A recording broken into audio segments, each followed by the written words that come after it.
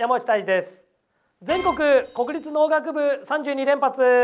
ということで農学部志望の人全国には素晴らしい国立大学の農学部たくさんあるのにですね東京首都圏の人だと私立の明治大学や東京農大や日大、まあ、関西だと近畿大学摂南大学龍谷大学など、まあ、私立の農学部だけ考えてしまう人が結構多いんですね。まあ、家から通えると。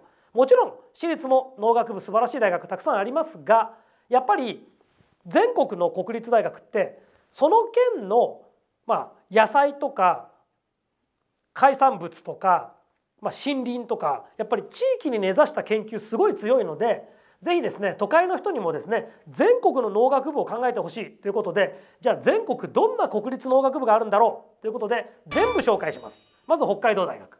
それから岩手大学。そして東北大学。山形大学。茨城大学。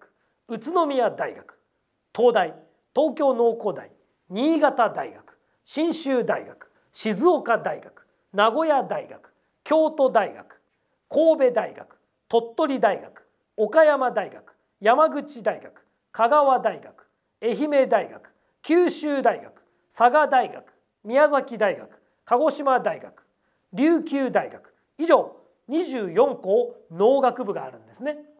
これはどこも本当に素晴らしいんでくれぐれも自分の住んでる地域だけではなく全国の農学部調べてほしいと思います。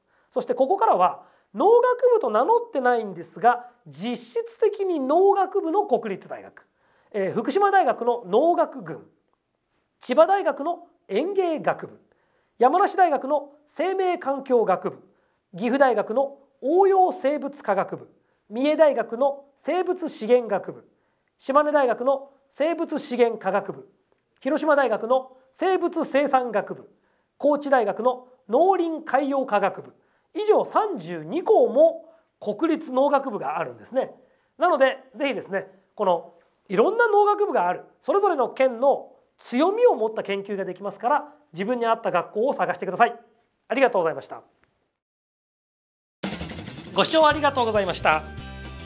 いいねとチャンネル登録をぜひお願いします。またメガスタの LINE にご登録いただいた方には大学受験に役立つ特別なプレゼントを進呈します。相談や質問も LINE で受け付けています。